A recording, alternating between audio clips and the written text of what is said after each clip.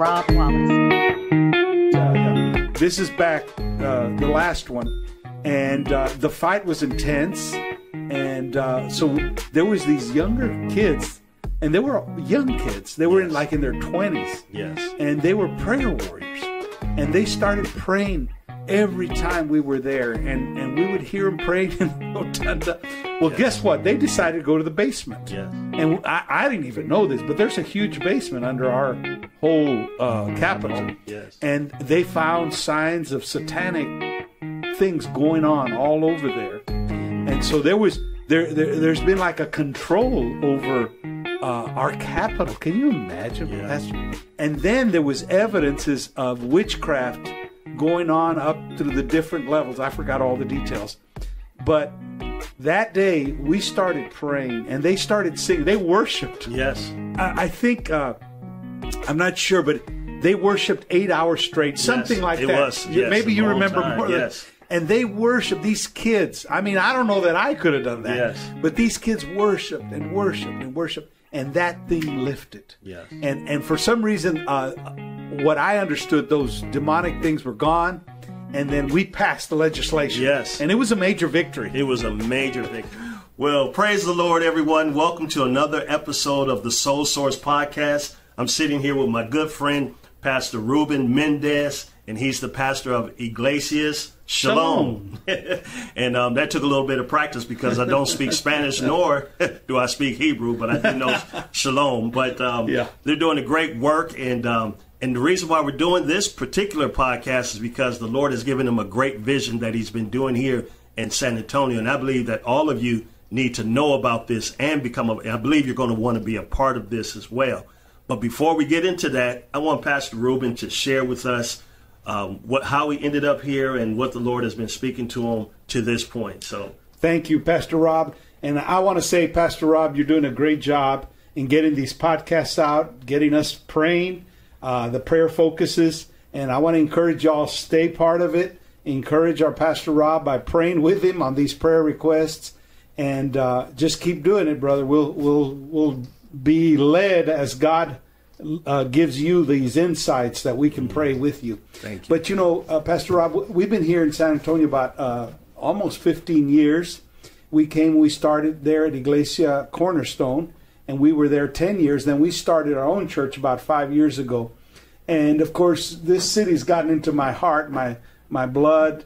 Uh, I, I just know this is one of the cities that God wants to do something extraordinary and spectacular. And so uh, we've come here to pray. We've come here to, to pastor people. We've come here to work with pastors and leaders to try to embrace this with the vision of God. But uh, let me just say a couple of things.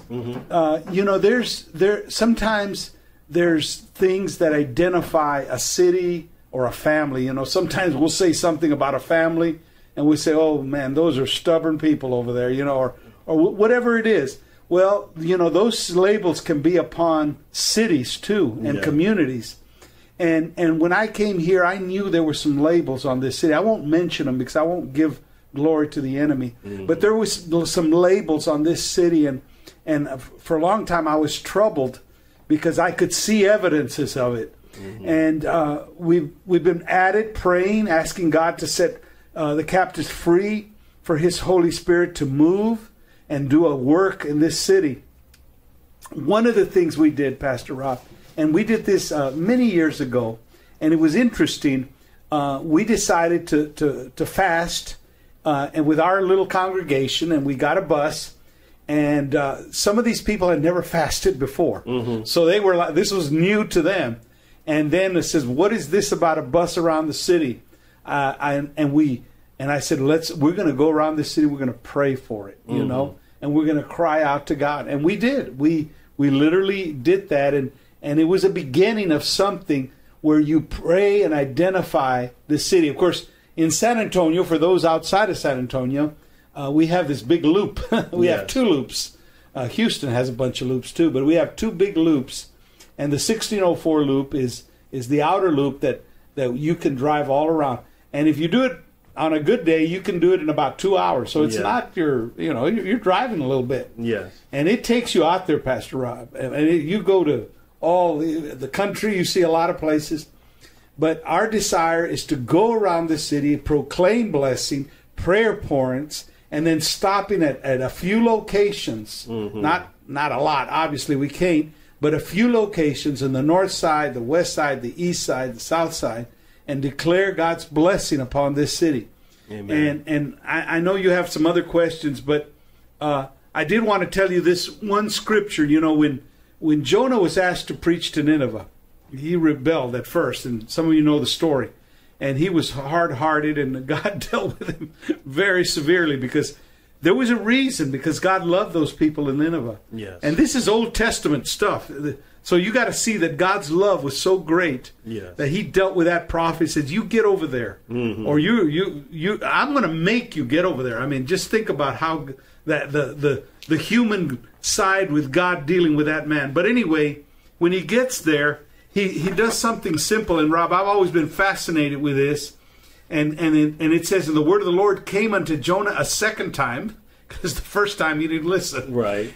a second time, and he said, Arise, go to Nineveh. This is that great city. It was a great city. If you study history, uh, it was massive. Yeah. And then that great city, and preach unto it the preaching that I bid thee.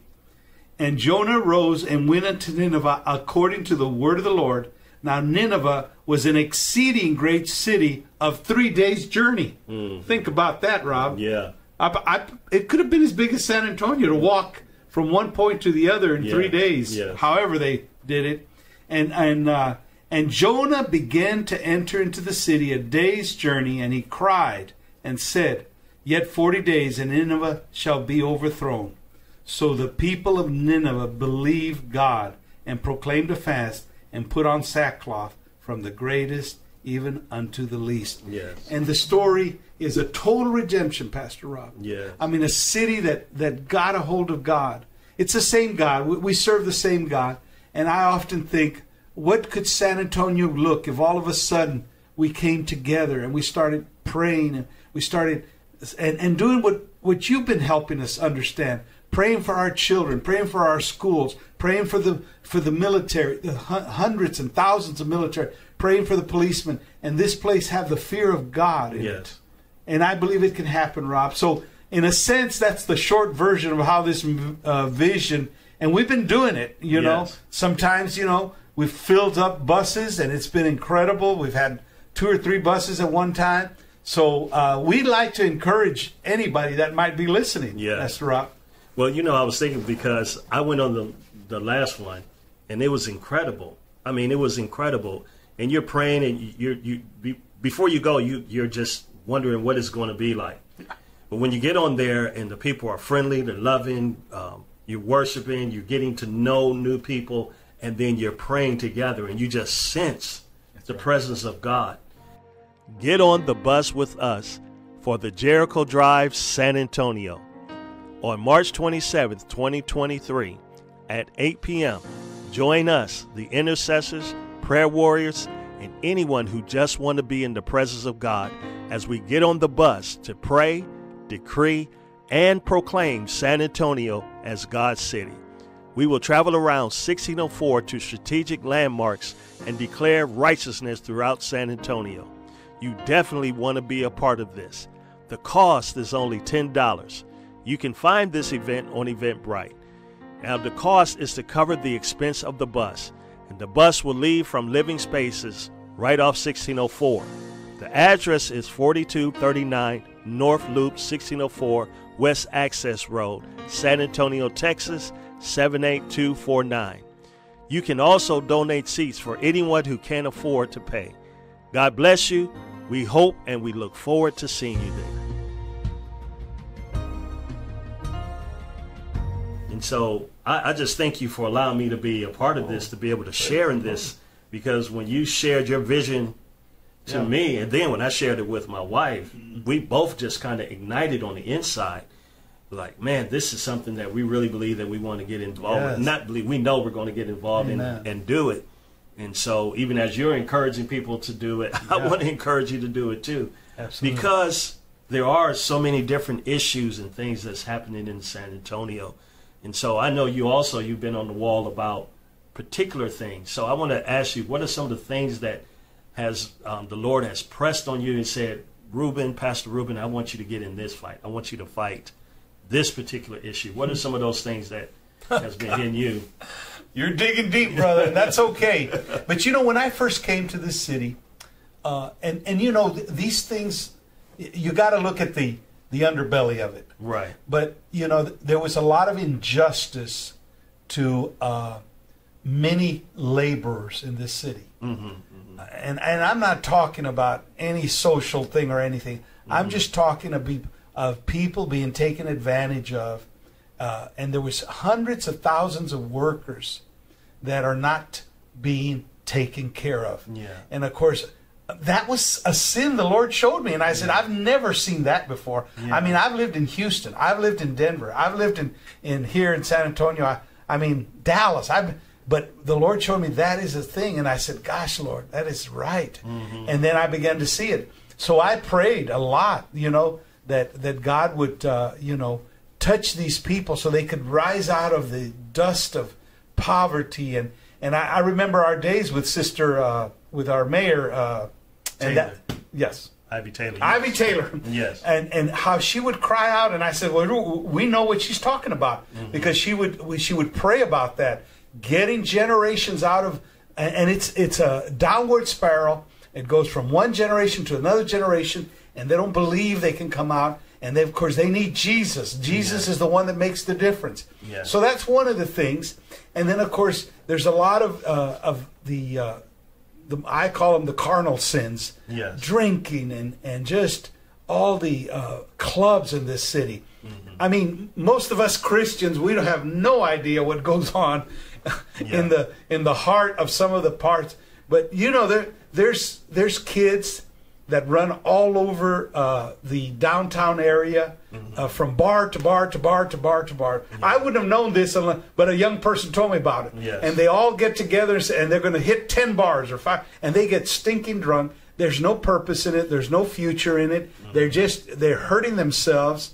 But uh, where does that take us? You know. So we got to pray for the young people, uh, for vision. Another burden, brother, and this is of course a burden across all of America, but uh, it's what's happening to uh, a lot of the young men between 16, 18, and 20. Yes. You know, they they- they're attacked all the day, uh, and so they're not becoming a man like they need to be. Right. And guess what they do? They they fall into uh, this this world of of gaming. You know, they sit in their rooms. Yes. Literally sit in their rooms. Not you know everybody could play a game for 30 40 minutes no they sit in their rooms for a day a weekend Yeah. and they don't even come out of the room. They they have their mothers. I've had mothers cry to me, Pastor. I, I can't get him out of, of his room, and and the, all they're doing is gaming, gaming and pornography, gaming and pornography. So my friends, uh, we have some battles, I mean, and there's more, but but Yes. those are some that press on me that Right. most people don't talk about. You're right. You're absolutely right. Um, I was very unaware. I mean, I know that people get caught up in games. In fact, I remember I got caught up in a particular game. I won't, you know, I don't want to advertise. Yeah. Nothing, nothing crazy, but No, yeah. you know, it just it's taking your time. Yeah, it's yeah. taking your time, and and I realized I, I look up and I have spent two hours on this game. Yeah, yeah. And so I just really just deleted it off my phone because Yeah. it's it just takes up your time, and you could be doing so much more.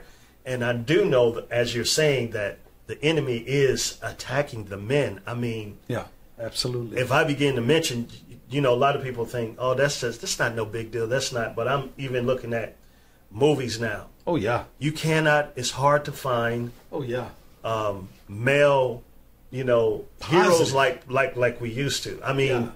they're like dying out now, all the movies, you know, and I'm not going to, because I don't want to sound like I'm talking against Yeah. certain movies, but I am looking at where are the men? Where are the men role models? yeah. My wife and I, we were watching um, Good Times the other day, and man, I just got a little bit emotional because it's been such a long time that you can see a strong father. Yeah, yeah. just a strong Yeah. father. So it's With something good, firm authority, Yes. but kind, and- Yes. and, and and directive, give directive. That's what us men are supposed to be doing. Right, right, right.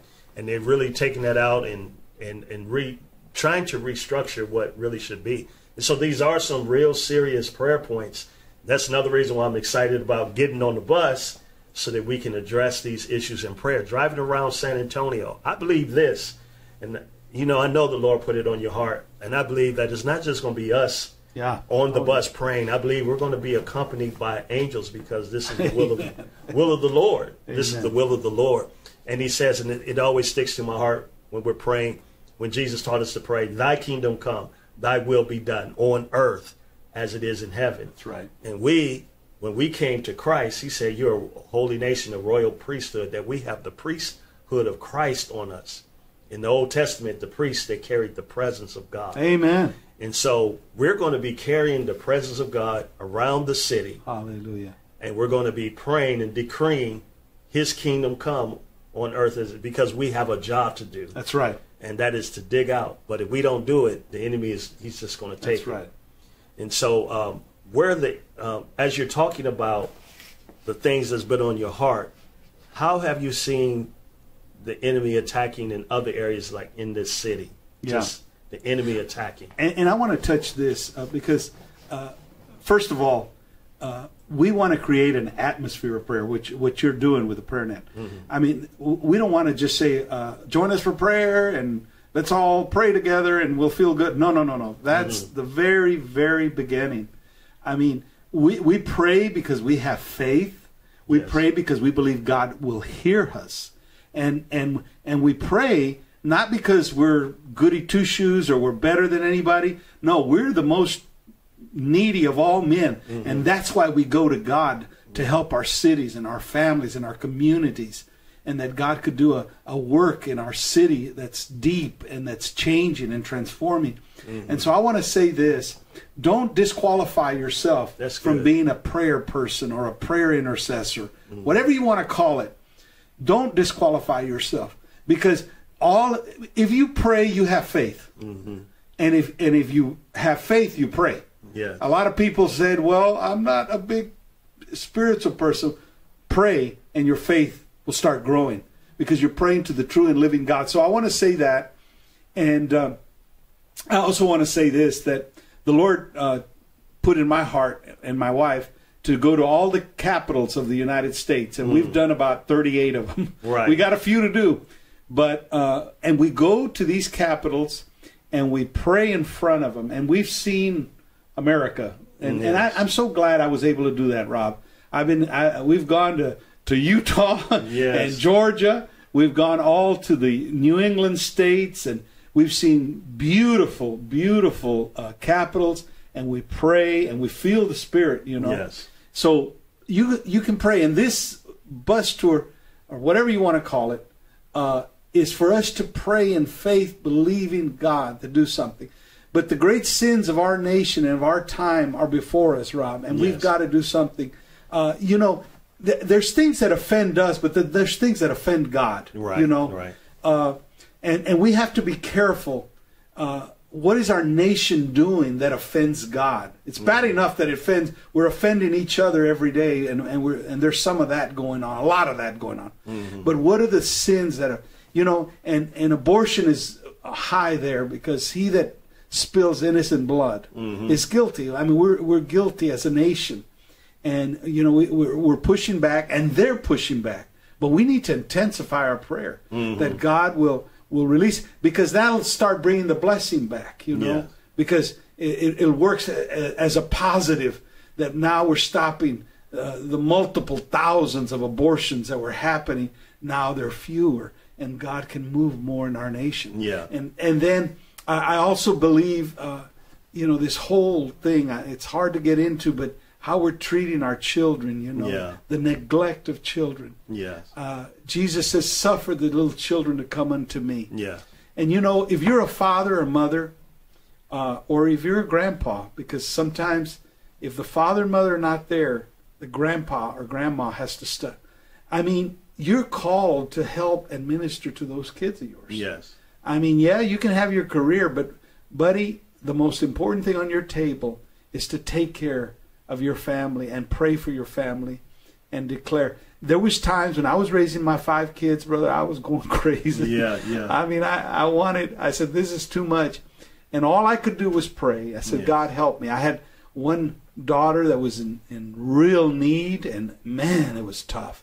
But we got through it. Yes. And then another daughter that was dating some stuff, some guy, and we got through that. Another one that was engaged to be married Yes. to somebody that we did not want her to marry. Right. Well, she made a choice not, but it all took a lot of prayer. Yes. And I remember when pornography was getting on, and my son was, uh, he had his laptop, and and I remember that whole season was so scary for me. I said, man. Pornography's so dangerous, you know. Mm-hmm, And I remember we got through that battle. Yeah. So I'm just saying, don't give up. Fight your battle for your kids. Give them input. Be with them. Show your heart to Yeah. them. I remember when you was talking about the trips and going down to Austin. I remember that one testimony that Martha gave. Hmm. Remember about? I want you to share that testimony if you remember. The that. one about the, the in the basement. Yes. Well, this is going to surprise some of you from Texas, but uh, some of uh, connections that we have, me and Rob, and they come from Houston and different parts, and they pray at the Capitol, and they're in Austin, our beautiful capital. If you've never not been there or haven't been there for a while, you should go and Yes. just walk around and pray. Prayer walk. It's powerful. And so we were there, and we were fighting some legislation. Right. There's new legislation on this new legislative schedule. But Yeah, this we was, could talk about that too. Yeah, yeah. Mhm. This is back uh, the last one, and uh, the fight was intense, and uh, so there was these younger kids, and they were young kids. They were Yes. like in their twenties, Yes. and they were prayer warriors, and they started praying every time we were there, and and we would hear them praying in the rotunda. Well, Yes. guess what? They decided to go to the basement. Yes. And I, I didn't even know this, but there's a huge basement under our whole uh, capital. Capital, yes. And they found signs of satanic things going on all over there. Mm-hmm. And so there was there, there there's been like a control over uh, our capital. Can you imagine, Yeah. Pastor? And then there was evidences of witchcraft going on up through the different levels. I forgot all the details. But that day we started praying and they started singing. They worshiped. Yes. I, I think uh, I'm not sure, but they worshipped eight hours straight, something Yes, like it that. was, yes, Maybe you remember time, more. yes. And they worshiped these kids. I mean, I don't know that I could have done that. Yes. But these kids worshipped and worshipped and worshipped, and that thing lifted. Yes. And and for some reason, uh, what I understood, those demonic things were gone, and then we passed the legislation. Yes. And it was a major victory. It was a major victory. In fact, and, and I want to say the, the, the um, what was the legislation? It was d- dealing with transgenders being able to compete with girls. The problem with that is when you pass those laws to allow transgenders to compete with girls. Not only does it steal from the girls Yeah. that they can't win the scholarships because Oh, yeah. they're not um, physically able to compete with them, but it also put girls in danger, physical danger, as far as when it comes to wrestling and Sure, sure. or any type of sports that they can be in. You know, these girls can really get hurt, Yeah. and so I understand Yeah. how transgenders can feel, Yeah. but the physical portion we need to protect our girls' safety. Yes. And so for that type of legislation to even be on the table blows my mind and the reasoning for it because I kept remembering the reasoning for it. Well, you're going to cause them to be in a suicidal state because they can't compete. Now we know that doesn't make any sense. Right. But these are the type of things that they're passing. Yeah. Well, anyway, these girls that they prayed, they broke all that and um, the legislation, and they they argued the, their point for nine, Well- 12 hours or something like Well, that. I, d- just Go to give this testimony, so Susan and I went there, and, and we were on the docket to speak. Yes. And so I, I believe we started sometime around ten in the morning. I'm I'm trying to remember. Yeah. Well, we went all the way till ten at night. Yes. And then all the way to five in the morning. So you count the hours, and and and I waited it out, and I got to finally speak, and and I spoke directly Yes. to to those legislation, you know, and I said, well, you know, a father and a mother are the the ones that should lead a family, but but I don't want to get too far ahead. no, go Uh, for it. I just want you no, go for it. Share that. yeah. Well, you know, a father and a mother, or who God has called to lead and guide and care for their children, I guarantee you, if if something goes wrong with your child, whether it's some horrible disease or some terrible accident, you ain't gonna have the school board there uh, taking care of it. You're gonna be the one uh, crying at night with them, holding their hand. You're gonna be the one going to the emergency rooms. There, those teachers that are trying to totally control them and doctor take them away from you uh, in a in a sense spiritually emotionally they're not going to be there. It's you're going to be there. Uh, and and you know what? Your love is greater than anything they will be. A father just a father coming in and saying honey i love you and i'm going to be with you and, and uh, i'm going to help take care of you. I mean that will uplift a young girl more than anything. I mean you encourage your kids and you love on them and you promote them and build them up. I mean, and it, and you know what? Once you start doing it, it gets easier. Yes, yes, that's and that was great.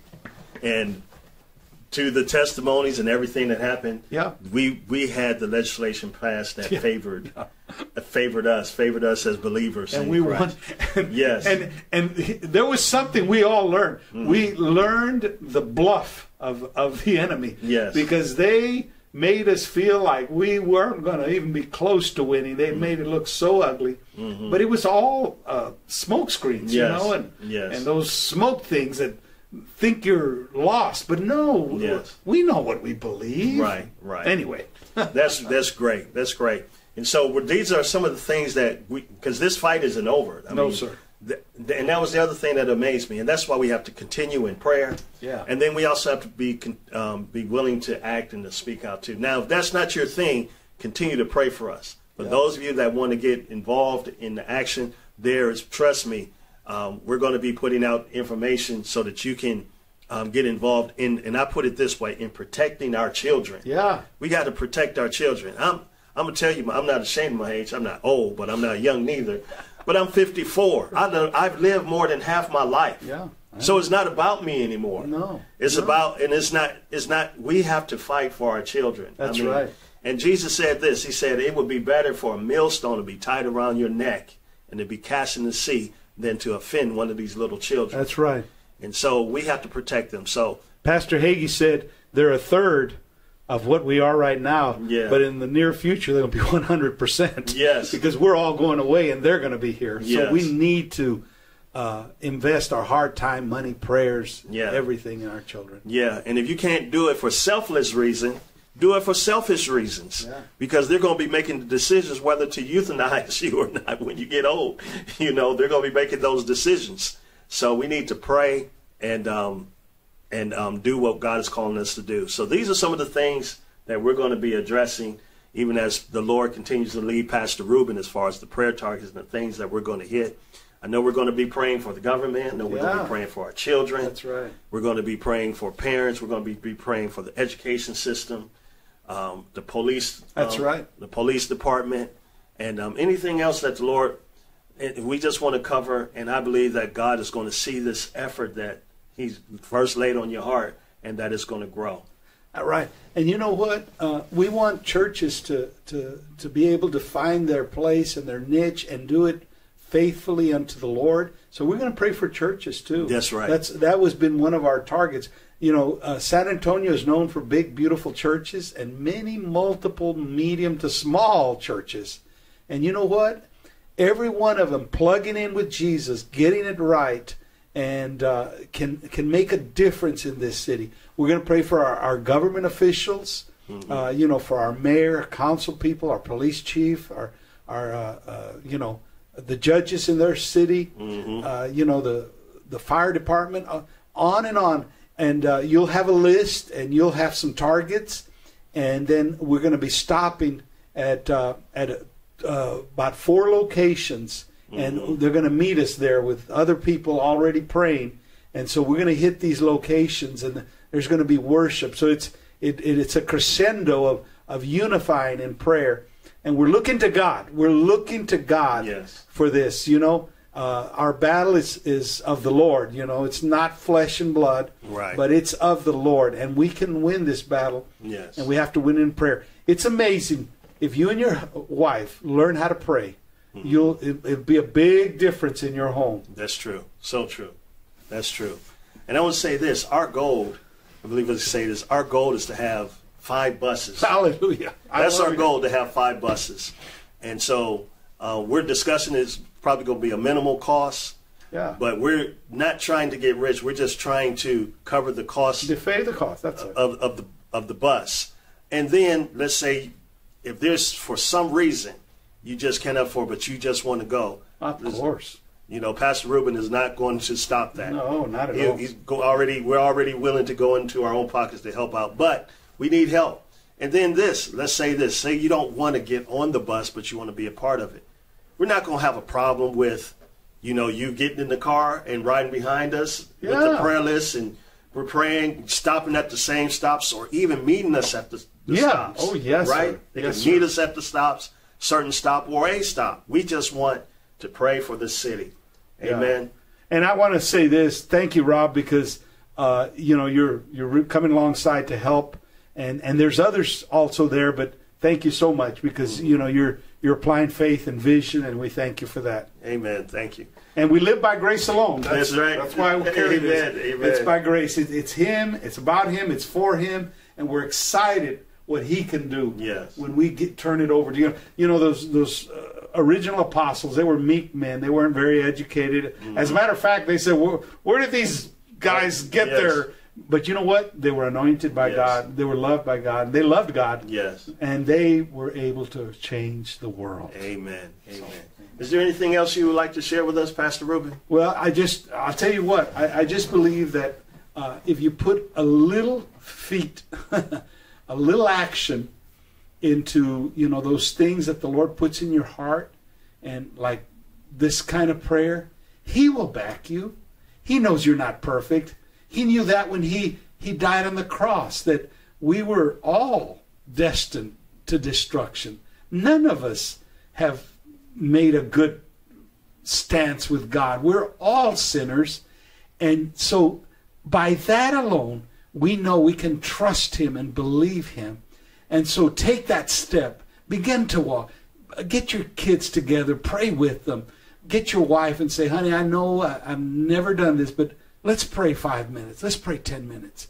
And, and then uh, begin to do it. And then join us for this prayer. And let's our faith come together in Jesus' name. Amen. Amen. Amen.